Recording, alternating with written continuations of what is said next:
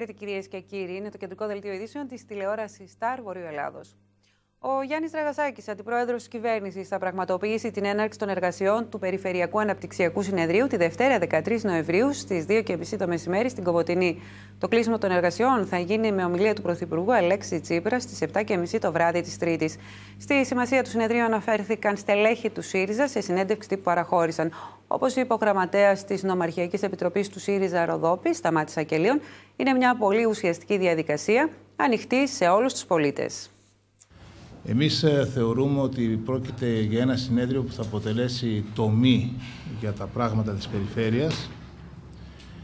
Ε, η διαδικασία σας είναι γνωστή, έχουν δοθεί, έχει δοθεί το πρόγραμμα στη δημοσιότητα. Θα επισκεφθούν την περιοχή μας ε, ο αντιπρόεδρος της κυβέρνησης, ο Γιάννης Οδραγασάκης, που θα κάνει την ανακτήρια ομιλία.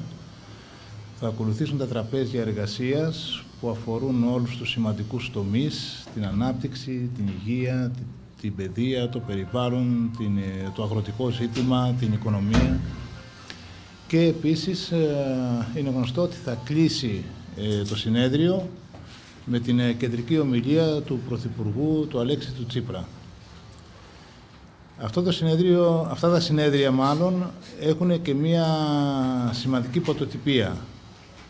Ερχόμαστε να μιλήσουμε αδιαμεσολάβητα με τις ε, τοπικές κοινωνίες, με, τις, ε, με τους θεσμούς που υπάρχουν σε επίπεδο περιφέρειας, με τους επαγγελματικούς φορείς, με ε, τους κοινωνικούς φορείς και τονίζω τη λέξη αδιαμεσολάβητα. Αυτό είναι το σημαντικό γιατί είναι μια αμφίδρομη διαδικασία. Αυτά που θα υποθούν στα τραπέζια εργασίας σε όλους τους τομείς. Θα γίνουν ένα κόρπους, ένα σώμα που πέραν αυτών που θα πει ο Πρωθυπουργός την ε, Τρίτη το βράδυ θα είναι η εφαρμοσμένη πολιτική μας που θα έχει συμφωνηθεί με τις τοπικές κοινωνίες, με τις περιφερειακές κοινωνίες στο επόμενο διάστημα. Επομένως, δεν ε, ερχόμαστε από τα πάνω να πούμε «Απ, θα, θα γίνει αυτό και αυτό». Όχι. Ερχόμαστε ξεκάθαρα να συνομιλήσουμε απευθείας με τους πολίτες και με τους φορείς τους. Αυτό είναι το σημαντικό, είναι δηλαδή ένα συνέδριο δημοκρατίας. Ε, με την έννοια αυτή, ε, είμαστε βέβαιοι, όπως έγινε και στα άλλα περιφερειακά συνέδρια, ότι και ο κόσμος θα αγκαλιάσει αυτό το συνέδριο γιατί καταλαβαίνει ότι είναι κάτι διαφορετικό και θα υπάρχουν απτά αποτελέσματα ε, για την ε, πολιτική μας ε, στο σύνολο της περιφέρειας. Ε, Ξέρετε και ξέρουμε όλοι ότι η περιφέρειά μας έχει ανοιχτά ζητήματα. Όλα αυτά τα ανοιχτά ζητήματα θα τεθούν σε αυτό το συνέδριο με στόχο να βρεθούν λύσεις εφαρμόσιμες άμεσα και σε πιο μακροπρόθεσμο επίπεδο. Καλό. Νομίζω η σημασία και η σπουδαιότητα του διήμερου αυτού του συνεδρίου με την παρουσία του Πρωθυπουργού και των Υπουργών αποσαφινίστηκε.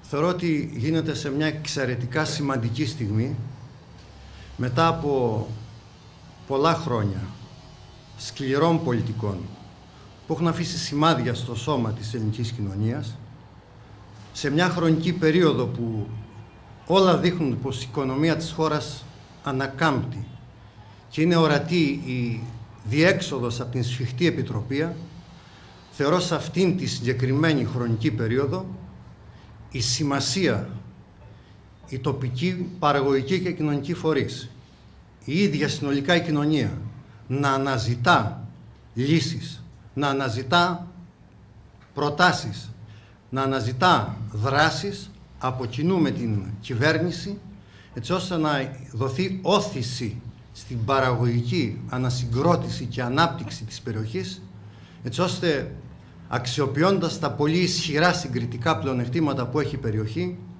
πράγματι να παραχθεί νέος πλούτος, να δημιουργηθούν νέες θέσεις εργασίας και να δοθούν ευκαιρίες, ιδιαίτερα στους νέους ανθρώπους. Έχει υπάρξει ήδη μια προεργασία με τους συμβούλους από το Πρωθυπουργικό Γραφείο, οι οποίοι χτένισαν όλη την περιοχή, είχαν όλες τις ε, επαφές με όλους τους φορείς ε, της περιοχής, όπου υπήρξε μια αδειομεσολάβητη συζήτηση. Αυτό το πράγμα θα κορυφωθεί αυτό το διήμερο με την έλευση των υπουργών που θα είναι εδώ πέρα. Νομίζουμε ότι και η γενικότερη συγκυρία είναι πολύ καλή για να μπορέσουμε από αυτήν την διαδικασία να βγούμε ωφελημένοι και σαν ε, περιοχή και σαν ε, χώρα. Από αυτή την άποψη καλούμε όλους τους προδοπίτες και ροδοπίτησες, όλους τους πολίτες της Ανατολικής Μακεδονίας Θράκης να έχουν στραμμένη την προσοχή τους σε αυτό το διήμερο, να συμμετάσχουν ενεργά με τις προτάσεις τους και με την προβολή των ετοιμάσεων τους. Το καθήκον το δικό μας των τοπικών βουλευτών αλλά και του κόμματος ενώ βουλευτών της περιφέρειας και των οργανώσεων της περιφέρειας Ανατολικής Μακεδονίας Θράκης είναι η εξασφάλιση της ομαλής διαξαγωγής αυτού του συνεδρίου. Και ο λόγος θα είναι στην τοπική κοινωνία, στους τοπικούς κοινωνικούς φορείς αλλά και επαγγελματικούς φορείς ε, έτσι αποδεικνύοντας αυτό που έλεγε πάντα ο Πρωθυπουργός, αλλά όλοι εμείς ότι η ανάπτυξη πρέπει να έρθει στη χώρα με όρθια την κοινωνία. Το εννοούμε και θα το κάνουμε πράξη. Να αλλάξουμε θέμα. Οι εκλογές στην Κεντροαριστερά για την ανάδειξη της νέας ηγεσίας του φορέα θα πραγματοποιηθούν, όπως είναι γνωστός, στις 12 και 19 Νοεμβρίου. Με αφορμή αυτό το γεγονός, ο επικεφαλής Εκλογικής Επιτροπής στο νομό Δράμας, κ. Φλόρος Κωνσταντίνου, δήλωσε ότι όλα είναι έτοιμα για την ερχόμενη Κυριακή. Κάλεσμα για συμμετοχή όλων των πολιτών όσοι ενδιαφέρονται για τις εκλογές της νέας ηγεσίας του νέου φορέα της Κέντρο Αριστεράς απίφθηνο ο υπεύθυνος της εκλογικής διαδικασίας των νομό της Δράμας, πρώην βουλευτής Πασόκ, Φλόρος Κωνσταντίνου. Φτάσαμε σχεδόν στο πιο δύσκολο ή μάλλον πιο κρίσιμο σημείο της διαδικασίας που ξεκίνησε πριν από περισσότερο από ένα μήνα και όλοι μας θέλουμε καταρχάς να ευχαριστήσουμε όσους βοηθούν, όπως είναι η Νομαρχία και η Δήμη της Δράμας, εσείς οι εκπρόσωποι του τύπου, αλλά και τον μεγάλο αριθμό στελεχών που προθυμοποιήθηκαν να βοηθήσουν από διάφορες θέσεις σε αυτή τη διαδικασία που ξεκινάει, όπως είπαμε, στις 12 μεθαύριο, δηλαδή την Κυριακή, 12 Νοεμβρίου 2017. Σπέβδω να δηλώσω ότι υπάρχουν και αρκετοί εθελοντές που έχουν δηλώσει συμμετοχή για να βοηθήσουν πέρα από όσους ήδη είναι ε, ταγμένοι εδώ και καιρό σε αυτή την προσπάθεια. Τους ευχαριστούμε προκαταβολικά, δεν χρειάστηκε μέχρι τώρα η βοήθειά τους, αλλά το ότι προθυμοποιήθηκαν να βοηθήσουν είναι κάτι που γεμίζει χαρά όλους μας. Η διαδικασία που όπως γνωρίζετε ακολουθήσαμε και ακολουθούμε και θα ακολουθηθεί και την πρώτη Κυριακή, γιατί για τη δεύτερη Κυριακή στις 19 του μηνός θα τα ξαναπούμε. Η διαδικασία λοιπόν για την Κυριακή 12 Νοεμβρίου έχει καθοριστεί στα έξι εκλογικά τμήματα που θα λειτουργήσουν. Δηλαδή στο, στην πόλη της Δράμας, στο Δήμο Δράμας, σε ένα σημείο, αν και είναι τρία εκλογικά τμήματα, στο Δήμο Δοξάτου σε δύο εκλογικά τμήματα, στον Άγιο Αθανάσιο και στο Καλαμπάκι, στο Δήμο Προσοτσάνης σε ένα εκλογικό τμήμα στην Προσοτσάνη, στο Δήμο Νευροκοπίου σε ένα εκλογικό τμήμα στο Νευροκόπη και στο Δήμο Παρανεστίου σε ένα εκλογικό τμήμα στο Νικηφόρο. Όλοι λοιπόν όσοι είμαστε εδώ και πολύ περισσότερο και άλλα στελέχη του δημοκρατικού χώρου, στελέχη της οικολογίας, στελέχη της αναζήτησης που εκπράζονται και μέσα από κόμματα ή από κινήσεις ή και μεμονωμένοι πολίτες, αυτό που θέλουμε είναι να καλέσουμε όλους τους πολίτες της κεντροαριστεράς, συντρόφους, προβληματισμένους ανθρώπους, πολίτες που τους ενδιαφέρει πού πάει η χώρα μας σε μια τέτοια κρίσιμη περίοδο. Όλους, όλοι αυτοί λοιπόν καλούμε τους πολίτες της κεντροαριστεράς της δράμας να δώσουν βροντερό και μαζικό παρόν την Κυριακή 8, από τις 8 η ώρα το πρωί μέχρι τις 8 το βράδυ στις εκλογές της νέας ηγεσίας της Δημοκρατικής Συμπαράσταξης. Του ζητούμε να εγκαταλείψουν ορισμένοι ίσως κάποιες αυταπάτες που τους παρέσυραν είτε να μείνουν αδρανείς είτε να βρεθούν σε άλλους πολιτικούς χώρους, να τους καλέσουμε να δώσουν ξανά το παρόν και να συνδημιουργήσουμε από την αρχή τη νέα προοδευτική δημοκρατική παράταξη. Ανανεωμένη σε πρόσωπα και σε ιδέες και στηριζόμενη στην πλούσια προσφορά, στην πλούσια ιστορία της δέκα ετιών στην πατρίδα μας. Ο κύριος Κωνσταντίνου επεσήμανε ότι η εκλογική διαδικασία, η ώρα της ψηφοφορίας δηλαδή, θα ξεκινήσει από τις 8 το πρωί και θα περιοθεί στις 8 το βράδυ, ενώ όσον αφορά στα αποτελέσματα κατά τις δικές του εκτιμήσεις, αναμένεται αυτά τουλάχιστον να βγουν μία ώρα μετά ή να δώσουν κυρίως την πρώτη εικόνα των αποτελεσμάτων. Αλλά η παρουσία τους, η φυσική, την ημέρα των εκλογών, με την ταυτότητά τους, είναι απαραίτητη δεν υπάρχει τρόπος εκλογής με χαρτιά και με τέτοια. Όλα θα γίνουν αποκλειστικά με ηλεκτρονικό τρόπο για να διασφαλιστεί απόλυτα η αντικειμενικότητα της ψηφοφορίας. Μπορεί να ψηφίσει και μέλος κόμματος και μέλος μη κόμματος και μέλος άλλου κόμματος. Όποιος θέλει μπορεί να ψηφίσει. Και δεύτερον, δεν χρειάζεται να είσαι στο Δήμο ή στο νομό σου. Όπου και να βρίσκεσαι, το κομπιούτερ βγάζει ποιος είσαι και σε καταγράφει κατά τρόπο αδιάβλητο. Άρα όποιος θέλει, όπου και να βρίσκεται, μπορεί να συμμετέχει στη διαδικασία μόνο με την ταυτότητά του. Αυτό τον καλούμε να κάνει την Κυριακή που μας έρχεται. Και παρακαλούμε να θυμάται, να, θυμούμαστε, να θυμώνται όλοι ότι αν δεν συμμετέχουν στην εκλογή της πρώτης Κυριακής, τη 12 του μηνός δηλαδή, δεν θα μπορούν να συμμετέχουν μετά, αν θελήσουν, στην εκλογή της δεύτερης Κυριακής. Η δεύτερη Κυριακή θα γίνει μόνο με τους πολίτες, με τους δημότες, με τους συντρόφους, με τους φίλους, με τους δημοκράτες που θα συμμετέχουν στις 12 του μηνός. Μένουμε στο χώρο της Κέντρο Αριστεράς. Στην τηλεφωνική μας γραμμή έχουμε την κυρία Χαρά Κεφαλίδου, βουλευτή νομού δράμα της Δημοκρατικής Συμπαράταξης. Κυρία Κεφαλίδου, καλό σας απόγευμα. Καλό απόγευμα κυρία Κυριακίδου και χαίρομαι που σας βλέπω ξανά στο δελτίο ειδήσεων του ΣΤΑΕ. Σας ευχαριστώ πολύ. Λοιπόν, στις κάλπες την Κυριακή, έτσι; Βεβαίως. Αυτό είναι το μεγάλο στοίχημα.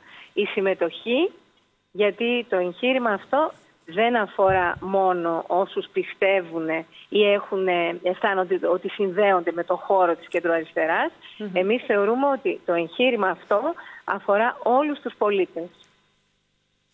Κυρία Κεφαλίδου, ε, το γεγονός ότι είναι μια υποψήφιοι πρόεδροι, ε, τι σημαίνει, πώς ερμηνεύεται; Οι εννιά υποψηφιότητες δείχνουν ακριβώς πόσο μεγάλο ενδιαφέρον υπάρχει και από την κοινωνία, αλλά και από όλους αυτούς τους χώρους, γιατί μην ξεχνάτε ότι ο χώρος μας κατακαιρματίστηκε. Χρειάζεται λοιπόν αλλά αυτή δεν γίνεται μόνο για προεκλογικούς λόγους και αυτό θέλω να το τονίσω. Υπάρχει πολύ μεγάλο αίτημα από την ίδια την κοινωνία, από την ίδια την ισορροπία που πρέπει να έχει το πολιτικό σύστημα. Οι εννέα υποψηφιότητες λοιπόν δείχνουν το μεγάλο ενδιαφέρον που υπάρχει και φυσικά είναι και η μεγάλη πρόκληση να μπορέσουμε στις 20 του Νοέμβρη, όταν ολοκληρωθεί όλη αυτή η μεγάλη προσπάθεια, ενωμένοι και συντεταγμένα να μπορέσουμε να προχωρήσουμε στο μεγάλο Κυρία Κεφαλίδου. Ναι. Εγώ δεν ακούω την κυρία Κεφαλίδου και νομίζω ότι δεν ακούν την κυρία Κεφαλίδου ούτε οι τηλεθεατές μας. Νομίζω δεν την ακούμε. Ίσως χρειάζεται να περάσουμε σε κάποιο ρεπορτάζ και αν είναι να επανέλθουμε. Παρακαλώ τους συνάδελφους να με ενημερώσουν από το κόντρολ. Λοιπόν, πάμε σε κάτι άλλο κυρίες και κύριοι. Ο Αντιπρόεδρος των Ανεξάρτητων Ελλήνων Παναγιώτης Γουρίδης, συνοδευόμενος από το μέλος του Εθνικού Συμβουλίου των ΑΝΕΛ και υπεύθυνη ιδεολογικού Ανατολικής Μακεδονίας Ράκης κυρία Ούτσι Χρήσα και τον Περιφερειάρχη Οργανωτικού Ανατολικής Μακεδονίας Ράκης Καραγιώργη Ανδρέα παραχώρησαν συνέντευξη τύπου στα τοπικά μέσα ενημέρωσης στην Κομωτινή. Ο σκοπός της σημερινής επίσκεψής μας εδώ ήταν στα πλαίσια του έκτου ε, αναπτυξιακού συνεδρίου παραγωγικής ανασυγκρότησης της περιφέρειας Ανατολικής Μακεδονίας και Θράκης, οι ανεξάρτητοι Έλληνες έχουν ε, να επεξεργαστούν για να κατεβάσουν τις δικές τους προτάσεις. Αποφασίσαμε να ενισχύσουμε την προσπάθεια αυτής της κυβέρνησης στην παραγωγική ανασυγκρότηση της Ελλάδας γιατί θεωρούμε ότι για να βγει η χώρα από την κρίση ακόμα και την, μετά την ε, μνημονιακή εποχή, μετά δηλαδή τον Αύγουστο του 2018, θα πρέπει να αυξήσουμε την παραγωγή. Τα δανεικά δεν ξεπληρώνονται με δανεικά. Τα δανεικά ξεπληρώνονται όταν η χώρα αρχίζει να παράγει. Γι' αυτό θεωρούμε πολύ σημαντικό το εγχείρημα της κυβέρνησης ΣΥΡΙΖΑ Ανεξάρτητων Ελλήνων να προχωρήσουν στο να διερευνήσουν τον τρόπο που θα υπάρξει η συνολική παραγωγική ανασυγκρότηση της χώρας ξεκινώντας από τις 13 περιφέρειες. Συμμετείχαμε στα προηγούμενα συνέδρια καταθέτοντας και εμείς τις δικές μας προτάσεις. Προτάσεις που βγήκαν μετά από συνεργασία την οποία είχαν τα στελέχη μας ε, αναπεριφερειακή ενότητα με, τις, με την τοπική κοινωνία αλλά και με τους φορείς. Και χαίρομαι πάρα πολύ που η οργάνωση της Κομωτινής και οι πολιτευτές της δουλέψαν προς αυτή την κατεύθυνση. Τα στοιχεία που έχει αυτή η πρότασή μας. Καταρχήν έχει μια ε, περιφερειακή ενότητα. Προέρχομαι από την Θράκη, δίπλα μου ο Περιφερειάρχης είναι από την Καβάλα, εσείς είστε από τον νομό Ροδόπης, πάντα υπήρχε η αντιπαλότητα ανάμεσα σε Θράκη και Ανατολική Μακεδονία. Αυτή τη στιγμή με τη δική μας πρόταση προσπαθούμε να δώσουμε μια ισόρροπη αφενός και συμπληρωματική αφετέρου ε, πρόταση για όλες τις περιφερειακές ενότητες. Δεν ξέρω αν ε, μπορούμε αυτή τη στιγμή να μιλήσουμε ξανά με την ε, κυρία Κεφαλίδου. Κυρία Κεφαλίδου, μας ακούτε; Ναι, σας ακούω. Έχουμε και τα τεχνικά προβλήματα. Έχουμε και τα τεχνικά. Ε, δεν πειράζει, συμβαίνουν και αυτά. Αρκεί να πάνε Λοιπόν, όλα είχαμε- καλά στις είχαμε εκλογές της μείνει- Κυριακής και εκεί πέρα να μην υπάρχουν. Ακριβώς. Ε, ε, έχουμε φροντίσει λοιπόν και η Επιτροπή του κυρίου Αλεβιζάτου που όλο αυτό το διάστημα έχει καταφέρει και έχει λύσει τα διαδικαστικά θέματα, πρακτικά θέματα, θέματα που αφορούν την πιο ολοκληρωμένη παρουσία στις εκλογές στις 12 και στις 19 Νοέμβρη. Αυτά τα θέματα λύθηκαν με τον καλύτερο τρόπο. Η εννέα υποψηφιότητα σας έλεγα δείχνουν και το μεγάλο ενδιαφέρον που υπάρχει για το εγχείρημα της αναγέννησης και της επανασυσπήρωσης του χώρου και θέλω να σας πω ότι η ευθύνη δεν είναι μεγάλη μόνο για τους υποψήφιους αρχηγούς, είναι μεγάλη και κοινή για όλους μας. Γιατί ο νέος φορέας που πάμε να φτιάξουμε θέλει ε, να καταφέρουμε στην πορεία να αποκτήσουμε και κοινή γλώσσα και κοινό όραμα και μια συγκεκριμένη πρόταση. Αυτά για μένα είναι οι, οι απαράβατες προϋποθέσεις για να μπορέσουμε να υπάρξουμε. Να υπάρξουμε σε μια Ελλάδα η οποία κάθε μέρα βυθίζεται όλο και πιο βαθιά στα προβλήματα. Αυτό είναι το μεγάλο στοίχημα και γι' αυτό θεωρώ ότι αφορά όχι μόνο όσους συναισθηματικά βρίσκονται σε αυτό το χώρο ή είναι ψηφοφόροι μας που έφυγαν και πήγαν στο ΣΥΡΙΖΑ και τώρα για δεύτερη ευκαιρία. Όχι. Αφορά Λίγο όλη πιο την δυνατά, αν ελληνική θέλετε, κυρία κοινωνία. Κεφαλίδου. Ναι. Τι μου είπατε, δεν άκουσα. κυρία Λίγο πιο Κυριακίδου. δυνατά, λέω, αν θέλετε. Ναι, σας ναι, ναι, ναι, παρακαλώ ναι. πολύ. Θεωρώ λοιπόν ότι αφορά, το ξαναλέω, όλους τους Έλληνες πολίτες. Και γι' αυτό η αρχή είναι η μεγάλη πρόκληση της Κυριακής. Είναι το μεγάλο στίχημα γιατί θα δείξει πρώτα απ' όλα ότι ο κόσμος αποδέχεται αυτή την ανοιχτή διαδικασία που με τόση τόλμη ξεκινήσαμε. Και επιπλέον θα δώσει η κάλπη, η φυσική παρουσία στην κάλπη και η ψηφοφορία θα δώσει και το κύρος το απαιτούμενο στη νέα ηγεσία ώστε να μπορέσουμε να λειτουργήσουμε ενωτικά και να μπορέσουμε να έχουμε τη δύναμη που χρειάζεται για να ορθώσουμε ανάστημα απέναντι σε ένα συνοθήλευμα ΣΥΡΙΖΑ-ΝΕΛ που σήμερα μας κυβερνά. Κύριε Κεφαλίδο, πριν σας αποτεσμεύσουμε, θα ήθελα ένα σύντομο σχόλιο σας για την άδεια που δόθηκε στο Δημήτρη Κουφοντίνα και τη θύελα αντιδράσεων που έχει προκαλέσει. Είναι αλήθεια ότι ε, αυτή η απόφαση είναι το κερασάκι σε μια πολύ δύσκολη καθημερινότητα που ζούμε. Και το μόνο που θέλω να πω είναι ότι πρέπει να υπάρξει από όλες τις πολιτικές δυνάμεις μια κατηγορηματική και απερίφραστη καταδίκη της τρομοκρατίας γιατί αλλιώς η σκιά της θα πέσει πάρα πολύ βαριά πάνω σε όλους μας. Και από αυτό δεν πρόκειται να γλιτώσει κανείς. Η εικόνα σήμερα στη Βουλή, η υπο...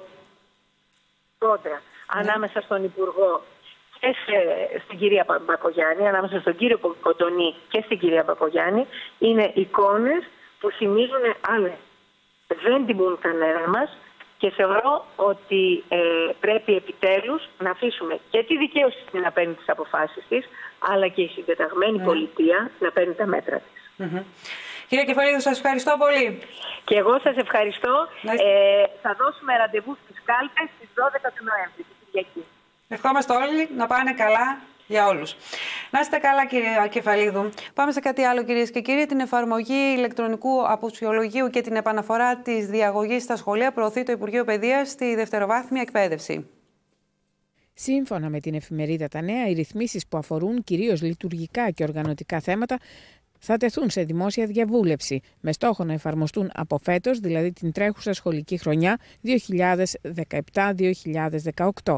Ήδη τα θέματα αυτά, όπως διαβεβαιώνει και ο Διευθυντής της Δευτεροβάθμιας Εκπαίδευσης του νομού Δράμας Πύρος Κιουλάνης, βρίσκονται σε διαβούλευση η οποία αναμένεται να ολοκληρωθεί στις 16 του μήνα. Ναι, ε, ακριβώς αυτό που έχει συμβεί έχει έρθει ένα σχέδιο προς διαβούλευση. Δεν είναι κάτι το οποίο ε, ήρθε για να εφαρμοστεί, αν και υπάρχει παρατήρηση ότι αυτά θα εφαρμοστούν από την τρέχουσα σχολική χρονιά. Ωστόσο, πρόκειται για ένα link, ουσιαστικά για μια σύνδεση η οποία οδηγεί σε έναν ιστότοπο.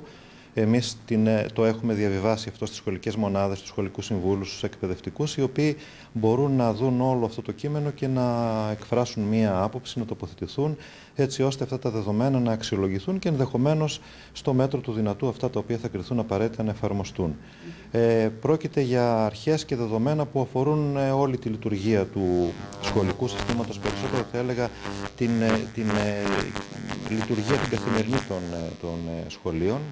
Ε, αφορούν ένα σημαντικό στοιχείο αφορά στην εγγραφή των μαθητών η οποία προτείνεται, έτσι δεν λέω θα γίνεται γιατί είναι πρόταση, είναι σχέδιο διαβούλευσης, να γίνεται διαδικτυακά όπως έγινε φέτος, δοκιμάστηκε και στα ΕΠΑΛ.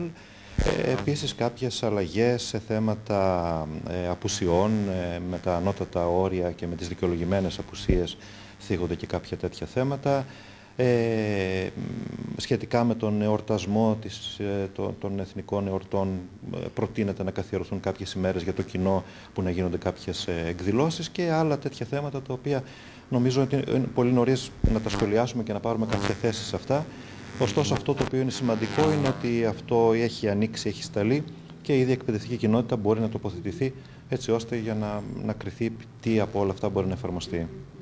Ο χρόνος; Ο χρόνος είναι μέχρι 16 Νοέμβρη, είναι ανοιχτό δηλαδή προφανώς θα είναι αυτή η πλατφόρμα, έτσι ώστε οι εκπαιδευτικοί να μπορούν να εκφράσουν τις απόψεις τους. Στις αποφάσεις του Υπουργείου Παιδείας είναι πως επιστρέφει και η διαγωγή στα σχολεία. Αφού καταργήθηκε η διαγωγή κοσμία πριν από λίγους μήνες, τώρα το Υπουργείο Παιδείας επαναφέρει το ζήτημα της διαγωγής των μαθητών, πλέον όμως θα υπάρχει η διαγωγή πεμπτή. Δηλαδή θα υπάρχει διαγωγή εξαιρετική, καλή και πεμπτή. Οι χαρακτηρισμοί αυτοί έχουν παιδαγωγικό χαρακτήρα και δεν θα αναγράφονται στους τίτλους σπουδών των μαθητών. Ακόμη το Υπουργείο Παιδείας προωθεί αλλαγές στις απουσίες. Συγκεκριμένα, θα θεσμοθετηθεί ηλεκτρονικό απουσιολόγιο, κάτι που σημαίνει ότι οι γονείς θα ενημερώνονται για τις απουσίες των παιδιών τους μέσω email. Επιπλέον, καταργείται ο διαχωρισμός δικαιολογημένων και αδικαιολόγητων απουσιών, αν και το όριο απουσιών παραμένει στις 114. Έκπληκτοι και σοκαρισμένοι από αυτό που συνέβη χθες το απόγευμα στο κολυβητήριο δράμα, δηλώνουν γονείς παιδιών όταν αποκολλήθηκε εξαιτίας της διάβρωσης ένα κομμάτι της τυχοπίας μήκους 1,5 μέτρου, ευτυχώς χωρίς να προκληθεί κανένα τύχημα και να τραυματιστεί κάποιος. Το κολυβητήριο θα παραμείνει κλειστό όλο το Σαββατοκυριακό και στη συνέχεια, τη Δευτέρα, σε ειδική σύσκεψη για το θέμα αυτό, θα αποφασιστεί τι θα γίνει, αφού είναι γνωστό ότι το κτίριο αντιμετωπίζει πρόβλημα λόγω και της παλαιότητάς του πέραν της διάβρωσης. Σοκαρισμένοι δηλώνουν οι γονείς παιδιών που είναι στο κολυμβητήριο όταν χθες το βράδυ, στη διάρκεια της προπόνησής τους, αποκολλήθηκε ένα μεγάλο τμήμα λόγω της διάβρωσης, με αποτέλεσμα ευτυχώς όχι κάτι σοβαρό, καθώς εκείνη την ώρα, αν και υπήρχαν αρκετά παιδιά, κανένα από τα τμήματα που αποκολλήθηκαν από την τυχοπία δεν έπεσε πάνω σε αυτά. Οι γονείς υποστηρίζουν ότι πρέπει να γίνει κάτι άμεσα σε αυτόν τον χώρο, έτσι ώστε να λαμβάνονται όλα τα μέτρα ασφαλείας, καθώς πολλά παιδιά καθημερινά παρακολουθούν μέσα από τους δύο κολυμβητικού συλλόγους προπονήσεις και μαθήματα κολύμβησης. Έξι ώρα σχεδόν το απόγευμα. Ακούστηκε ένας δυνατό κρότος, ο οποίος βέβαια δημιούργησε μια ταραχή σε όλο τον κόσμο που υπήρχε στις κερκίδες του κολυμβητηρίου. Έφυγε ένα κομμάτι τσιμέντου, το οποίο έπεσε σε μια λαμαρίνα που ήταν σύριζα με τις κερκίδες. Βέβαια ο φόβος που υπήρξε ήταν ότι αν σε εκείνη τη στιγμή υπήρχε κάποιος, κάποιο παιδάκι ή κάποιος τέλος πάνω στις κερκίδες, θα είχαμε θρυνήσει θύματα. Άρα λοιπόν νιώθετε ότι κάτι πρέπει τουλάχιστον να γίνει άμεσα, γιατί αν δεν ήταν εκείνο το τμήμα θα μπορούσε να αποκολληθεί κάποιο άλλο τμήμα. Και αυτό γίνεται λόγω της διάβρωσης που επικρατεί από τις υψηλές θερμοκρασίες, την έντονη υγρασία που υπάρχει στο κολυμπητήριο. Αυτό σίγουρα θα το κρίνει κάποιος τεχνικός, αλλά από ό,τι φαίνεται ότι είναι, ναι, είναι μια διάβρωση η οποία είναι από την υγρασία που έχει το κολυμπητήριο, λογικό είναι, στα τόσα έτη, και που θα πρέπει ο, ο υπεύθυνος, ο οποίος ασχολείται με τα τεχνικά του, τα του κολυγοβητηρίου να το επιδιορθώσει. Mm -hmm. Ξέροντας ότι αυτός βέβαια είναι ο Δήμος Δράμας. Αυτός είναι ο υπεύθυνος στη συνδυασή του. Mm -hmm. Φαντάζομαι ότι το σοκ προήλθε από το γεγονός ότι έγινε την ώρα που τα παιδιά είχαν προπόνηση. Είναι, ναι, βέβαια. Είναι το, το δύσκολο. Το να υπάρξει κάτι που δεν θα το μάθει κανείς όταν το κολυβητήριο είναι κλειστό ή ο κάθε χώρος που έχει τέτοιο πρόβλημα είναι κλειστός. Δεν υπάρχει πρόβλημα να δημιουργηθεί κάποιο θέμα, έτσι. Τώρα με τόσο κόσμο εκεί μέσα και σε, να δημιουργείται κάτι τέτοιο, κάτι τόσο επικίνδυνο, φυσικό είναι ότι μας δημιουργήσει μια ταραχή και ένα φόβο.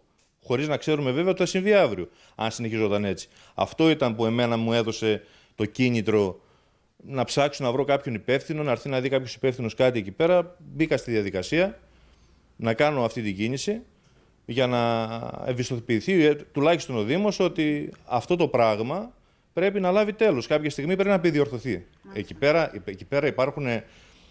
Ο κολυβητικός. Εντάξει, το παιδί μου είναι στον κολυβητικό. Ο κολυβητικός, ο οποίος κάνει το δικό του αγώνα και μπράβο στον ε, σύλλογο, το οποίος έχει διακρίσεις με τέτοια μέσα. Γιατί το κολυβητήριο με τέτοια κατάσταση και με αυτές τις διακρίσεις που έχει, μπράβο στους ανθρώπους. Κάποια στιγμή όμως πρέπει να δοθεί τέλος όσον αφορά το τι γίνεται. Να επισκευαστεί για να μπορούν και τα παιδιά μας να προπονούνται με σιγουριά. Ε, τα παιδιά που προπονούνται συνήθως εκεί και είναι μέλη του κολυμβητικού είναι προσχολικής και σχολικής ηλικίας, έτσι δεν είναι; Υπάρχουν παιδιά σε διάφορες ηλικίες. Ο δικός μας είναι μικρός, εντάξει. Υπάρχουν παιδιά όμως τα οποία είναι και σε προαγωνιστική και σε αγωνιστική κατάσταση. Εντάξει, υπάρχουν διάφορες ηλικίες. Κάποια παιδιά που πηγαίνουν συχνά. Εννοείται. Βέβαια, υπάρχουν που είναι παιδιά που είναι σε καθημερινή βάση. Το κολυβητήριο είναι σε καθημερινή βάση. Τις ώρες αυτές, μετά το μεσημέρι είναι συνέχεια γεμάτο. Θορυβημένοι δηλώνουν οι εκπρόσωποι των δύο κολυμβητικών συλλόγων, τόσο του κολυμβητικού ομίλου δράμας, όσο και του κολυμβητικού συλλόγου δράμα 86. Όμως θεωρούν ότι από την πλευρά της Δημοτικής Αρχής θα γίνουν τα δέοντα έτσι ώστε με ασφάλεια να προπονούνται και να κολυμπούν τα παιδιά στο κολυμπητήριο της δράμας, καθώς είναι γνωστό ότι λόγω και της παλαιότητας του κτηρίου υπάρχουν πολλά ζητήματα λόγω και της διάβρωσης, όπως χαρακτηριστικά αναφέρουν. Εμείς, κοιτάξτε, σαν σύλλογος. Ε... Έχουμε κορονίδα την ασφάλεια των παιδιών και κατά τη διάρκεια των ε, προπονήσεων και κατά τη διάρκεια των αγώνων. Αυτό είναι ένα απόσπαστο κομμάτι του αθλητισμού ε, και νομίζω ότι αυτό το γεγονός τώρα εξετάζεται από το Δήμο. Ε, πιστεύω ότι οι τεχνικές υπηρεσίες ε, θα εκτιμήσουν το πόσο ε, και αν είναι σοβαρή η κατάσταση και προφανώς εμείς σαν σύλλογος θα ακολουθήσουμε αυτά τα οποία θα μας προτείνουν οι θεσμοί οι οποίοι επιλήφθηκαν του θέματος. Φυσικά και αυτοί νομίζω διακατέχονται από ευαισθησία σε ό,τι έχει να κάνει με την ασφάλεια των παιδιών, αλλά δεν ξέρω κατά πόσο μπορεί να μπαίνει τέτοιο θέμα ασφάλειας με αυτήν εδώ την αποκόλληση. Είναι γνωστό ότι υπάρχουν προβλήματα με το κολυμπητήριο λόγω της διάβρωσης και λόγω της παλαιότητας του κτηρίου. Δεν είναι κάτι καινούριο δηλαδή αυτό. Είχαν γίνει κάποιες παρεμβάσεις, αλλά από ό,τι φαίνεται το ζήτημα είναι πολύ σοβαρό. Κοιτάξτε να δείτε, δεν ξέρω κατά πόσο σοβαρό είναι, σας είπα, δεν μπορώ να το εκτιμήσω γιατί δεν έχω ε, γνώσεις ούτε τεχνικές ούτε αυτά. Γνωρίζω όμως ότι γίνονται προσπάθειες και από τους δύο συλλόγους αλλά και από τους αρμόδιους φορείς, Δήμος κτλ. που έχει το έργο, διαρκώς να γίνονται κάποιες βελτιώσεις, γιατί προφανώς ε, είναι και πάρα πολύ δύσκολο στο να μπορείς να ξεκινήσεις να κάνεις κάτι καινούριο προς αυτή την κατεύθυνση. Πάντως, και εμείς, σαν σύλλογος, νομίζω και εσείς θα το καταλαβαίνετε, δεν υπάρχει κανένας αθλητικός σύλλογος σε κανένα χώρο, ο οποίος δεν έχει σαν ε, πρώτο βήμα, το, σαν πρώτο μέλημά του, την ασφάλεια των παιδιών. Και έχω την αίσθηση από το ότι ε, και από τις συνομιλίες μου με το Δήμο ότι αυτό το πράγμα θα ξεκινήσει με τους, ε, ε, θα ξεκινήσει με τους τεχνικούς οι οποίοι θα κάνουν αυτά τα οποία πρέπει να κάνουν. Νομίζω το βλέπετε το άμεσα γιατί αμέσως για να διευκολυνθούν όλες αυτές οι υπηρεσίες το γήπεδο για να μπορέσουν να γίνουν καλύτερες μελέτες και όλα αυτά σήμερα θα είναι κλειστό, το κολυβητήριο σήμερα θα είναι κλειστό. Και αύριο πόσο μας ήταν. αυτό δεν το ξέρω ακόμα επίσημα ας πούμε. Προφανώς όλα αυτά γίνονται για να, δια, να διευκολυνθούν όλες αυτές οι υπηρεσίες οι οποίες θα αποφανθούν. Γιατί καταλαβαίνετε τώρα, το να, ε, το να ένας τεχνικός διευθυντής, ένας πρόεδρος ή και εσείς ως δημοσιογράφος νομίζω πρέπει να έχουμε τεχνικές γνώσεις για να μπορέσουμε να πούμε αν συμβαίνει κάτι. Εμείς καταγράφουμε το γεγονός ναι. και βλέπουμε τον αντίκτυπο που έχει, γιατί σε αυτόν τον χώρο προπονούνται, φιλοξενούνται παιδιά και όχι μόνο παιδιά από τη δράμα όταν γίνονται οι αγώνες όπως θα γίνουν και σε λίγο χρονικό διάστημα. Ναι. Με τους κολυμβητικού αγώνες που είναι αφιερωμένοι στη μνήμη της Αγίας Βαρβάρας, της πολιούχου μας, που θα έρθουν παιδιά σχεδόν από όλη την περιφέρεια της Ανατολικής Μακεδονίας και της Τράκη. Ε, φυσικά είναι σημαντικό, αλλά σας είπα, οι οποιοδήποτε, οι, οι οποιοδήποτε αγώνες, οι οποιοδήποτε εκδηλώσεις έχουν να κάνουν πρώτα με την ασφάλεια των παιδιών και νομίζω ότι είναι δρομολογημένη όλη αυτή η διαδικασία και αναμένουμε και εμείς τις οδηγίες. Εννοείται ε, ε, ότι δεν μπορεί κάποιος, υπάρχει κάποιος άνθρωπος στον αθλητισμό ο οποίος μπορεί να έχει παιδιά ενώ υπάρχει κάποιος κίνδυνος, δεν υπάρχει κανένας στον κόσμο που μπορεί να το κάνει αυτό. Οπότε να περιμένουμε τα δέοντα για να μπορέσουμε να δούμε και πώς θα συνεχιστεί αυτή η κατάσταση. Κοιτάξτε, απλά έφυγε ένα κομμάτι επικάλυψης όσο βάζει δηλαδή και έπεσε πάνω στη Λαμαρίνα που είναι στην άκρη στις Κερκίδες χωρίς να προκαλέσει αλλά, ε, δηλαδή έγινε περισσότερο θόρυβος παρά εγκυμονούσε κινδύνους για οτιδήποτε στο, σε αυτούς τους αθλούμενους ειδικά και στις, ε, στις Κερκίδες. Είναι στην άκρη της Κερκίδας, έπεσε πάνω σε μια λαμαρίνα, έκανε το θόρυβο, σίγουρα τρομοκρατήθηκαν με το θόρυβο Νομίζω ότι μήπως γίνει κάτι. Συνομίλησα με τεχνικό στο Δήμο κλπ. Δεν υπάρχει θέμα στατικότητος ότι επηρεάζει το κολυμπητήριο σαν, ασφάλ, σαν ασφάλεια. Mm-hmm. Αλλά καλό καθώ θα το κάνουμε μια επιθεώρηση. Αν χρήζει περισσότερες να κάνουν κάτι δηλαδή σε εκείνο το σημείο και να το επιθεωρήσουν μήπως γίνει και κάτι στο, στο μέλλον ή οτιδήποτε. Mm-hmm. Κύριε Καρασαβίδη. το κολυμπητήριο παλιό είναι, τέτοια προβλήματα έχει. Αυτό θα σας έλεγα, ότι τα προβλήματα ναι. διάβρωσης του κτηρίου λόγω και της παλαιότητάς του και της καθημερινής του χρήσης δεν σημαίνει κατά ανάγκη ότι κάποιος το επεδίωξε να γίνει. Απλώς είναι λογικό με τη φθορά του χρόνου να υπάρχουν και αυτά. Ναι, ναι. Δυστυχώς αυτό είναι το κολυμπητήριο που έχει η δράμα. Ε, είναι παλιό, πρέπει να γίνονται πιο συχνά συντηρήσεις, ίσως το οποίο βέβαια τα λεφτά αυτά είναι χαμένα γιατί δεν πρόκειται να γίνει πάλι νέο. Απλά να διατηρείται σε κάποιο, σε κάποιο επίπεδο ώστε μπορούν τα παιδιά της δράμας να μπορούν να αθλούνται και να μαθαίνουν κολύμπη. Πάντως, ο Δήμος της Δράμας πήρε την απόφαση αυτό το Σαββατοκύριακο να παραμείνει κλειστό. Ναι, για να το, για να το θεωρήσει, για να καθησυχάσει και τους γονείς ότι κοιτάξτε το είδαμε, είδαμε τι τέτοιο να φέρει κάποιου τεχνικού να το ελέγξουν για να είμαστε σίγουροι και εμείς. Τα δικά μας παιδιά πάνε πάνω, δεν είναι ότι μπροστά στην ασφάλεια δεν, ε, κάνει, δεν υπάρχουν εκπτώσεις. Ε, το αποφάσισα να το κλείσει για να μην υπάρχει ο κόσμος αυτό να μπορούν με ησυχία να δουν τι χρειάζεται. Θα το θεωρήσετε και τη Δευτέρα θα ξέρουμε. Μάλιστα. Πάντως, σκεφτείτε, επειδή πλησιάζει και ο καιρός και με το άνοιγμα της Ονειρούπολης και στο πλαίσιο του εορτασμού της Πολιούχου της δράμας της Αγίας Βαρβάρας, τους αγώνες που πραγματοποιούνται και εσείς το ξέρετε καλύτερα από τον καθένα αυτό. Εμείς ανησυχούμε περισσότερο γι' αυτό από ό,τι ανησυχούν οι άλλοι. Γι' αυτό και τη Δευτέρα θέλουμε να δούμε σε τι κατάσταση είναι ή άμα χρειάζεται να δίνουν κάποιες παρεμβάσεις για να μπορέσουν να γίνουν οι αγώνες. Μένουμε στο ίδιο ζήτημα. Επιληφθήκαμε άμεσα του θέματος. Το τμήμα που αποκολλήθηκε είναι σοβάς, δηλώνει για το γεγονός στο κολυβητήριο ο αρμόδιος αντιδήμαρχος αθλητισμού Γιάννης Καψιμάλης και επισημαίνει ότι μέχρι τη Δευτέρα που θα πραγματοποιηθεί η σύσκεψη για το θέμα, το κολυβητήριο θα είναι κλειστό. Κλειστό θα παραμείνει το κολυμπητήριο της δράμας έως και την Κυριακή, καθώς η Δημοτική Αρχή πρόκειται άμεσα να συσκεφτεί. Ήδη έγιναν οι πρώτες εκτιμήσεις και συναντήσεις με τους τεχνικούς μηχανικούς του Δήμου προκειμένου να εκτιμηθούν οι ζημίες και άμεσα να γίνει η αποκατάστασή του όπως χαρακτηριστικά δηλώνει στην τηλεόραση του ΣΤΑΡ ο αρμόδιος αντιδήμαρχος για αθλητικά ζητήματα Γιάννης Καψιμάλης. Ναι, έγινε μια, ένα περιστατικό χθες το απόγευμα. Ενημερωθήκαμε. Έχει δράσει ήδη η υπηρεσία μας. Ε, και εγώ τώρα αυτή τη στιγμή έχω φύγει από μια σύσκεψη που είχαμε μαζί με τους διευθυντές για να δούμε τι θα κάνουμε. Τη Δευτέρα θα πραγματοποιηθεί μια σύσκεψη με όλους τους φορείς και θα σας, θα σας ενημερώσουμε για τις επόμενες κινήσεις και πώς θα ενεργήσουμε. Πάντα με συνεννόηση με τους ε, δύο συλλόγους που βρίσκονται πάνω στο κολυμβητήριο. Ε, αυτό που θέλω να πω εγώ σαν μήνυμα είναι ότι μας ενδιαφέρει και προέχει η ασφάλεια των παιδιών. Αυτό είναι de facto και πάνω σε αυτό και θα δράσουμε και όλες οι ενέργειες οι οποίες θα γίνουν θα έχουν ε, βασική προϋπόθεση την ασφάλεια των παιδιών. Να σας ρωτήσω αν θα λειτουργήσει αυτές τις ημέρες σήμερα το κολυμβητήριο. Σήμερα και αύριο το κολυμβητήριο θα παραμείνει κλειστό, θα, γίνουν, θα, γίνουν, θα γίνει αυτοψία αυτές τις μέρες και σαν μηχανικοί που είμαστε, σαν μηχανικοί ή μηχανικοί θα κάνουν κάποια, κάποια αυτοψία. Τη Δευτέρα θα γίνει σύσκεψη με όλους τους φορείς, με όσοι εμπλέκονται και θα σας ενημερώσουμε για τις ενέργειες περαιτέρω. Σας είπα ότι προέχει η ασφάλεια των παιδιών. Και στο σημείο αυτό να περάσουμε σε ένα σύντομο διάλειμμα για διαφημίσεις και σε λίγο θα είμαστε και πάλι μαζί.